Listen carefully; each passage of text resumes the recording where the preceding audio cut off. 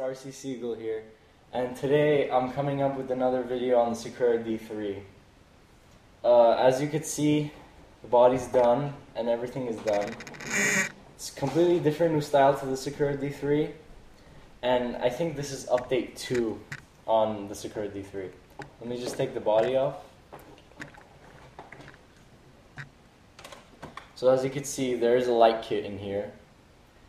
This is um, just 12 LEDs going into the control box. And then I have two for the side view mirrors. These are actually some really cool thing I found off of eBay. They're really cheap too, I think like nine bucks. There are orange LEDs in there. It's really cool. And uh, these 12 LEDs, they flash as you've seen in the intro. Hope you guys like that by the way. Uh, this is a Scion FRS body if you haven't realized that already. I have um, exhausts in here, the wing, and um, a thing that I did in the front is I cut out the grill and I put like 116 contour wire mesh on it. I think that's what it's called. Yeah, it's like a, just a mesh mesh wiring. It looks like looks very scale and realistic though. And I put an intercooler behind it as well. So the rims. So these are just like pretty cheap too. There, um, it came with the rims and the drift tires, and these are just flat plastic drift tires. And of course, they don't have the metal flakes in them like the orange, like the yellow ones did. Did you know that makes it spark, as you've seen earlier? These are um, just like regular white rims, and I have something really cool in there. As you can see, there are red ceramic brakes in there with the brake discs. Uh, if I find my wrench here, I'll take off the wheel and show you guys. I have the wheel off. Here are the disc brakes.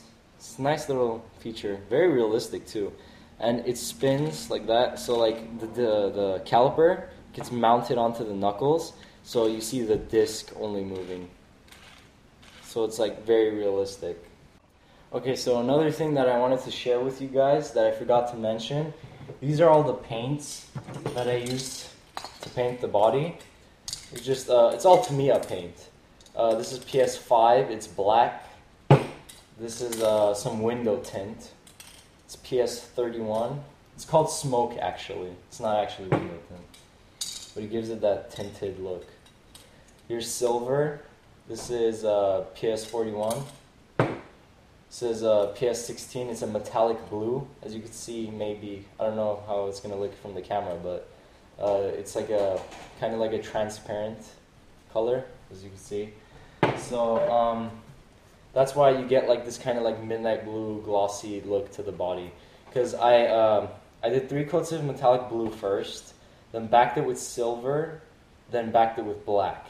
Then I tinted the windows. So that's how you see like blue on the outside and then black on the inside. So I hope you guys like this video. Uh, you know, this video probably is going to be a little bit short because, um, you know, there's not really much to talk about. It's just the body mainly. So, um, you know, like, subscribe, and see you guys next time.